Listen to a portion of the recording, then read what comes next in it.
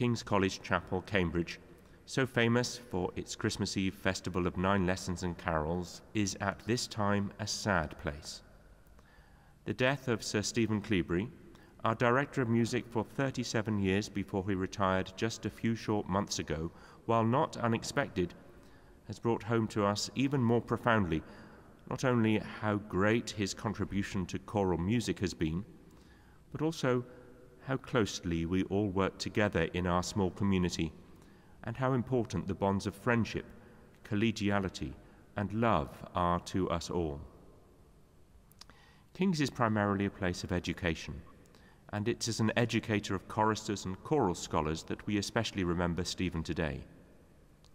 His musical formation of almost countless boys and young men who have been members of the choir since 1982 has been profound.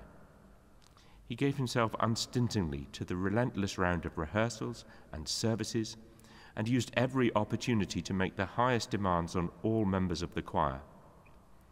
In this regard, as in all others, he led by example, expecting nothing more from others than he was prepared to give himself. He justly prided himself on meticulous preparation, and his attention to detail was as astonishing as the range of his knowledge was impressive, and the depth of his love of music was itself moving. Working with Stephen for 10 years of his time here, five as chaplain and five as dean, I always appreciated the modest way in which he conducted during acts of worship, and his devout demeanour during the liturgy. His example in this regard being important for choir and congregation alike, and conveying to even the youngest members of the choir the deep differences between singing in an act of worship and performing in a concert. Much more will be said about Stephen's great talent and extraordinary musical leadership in the days to come.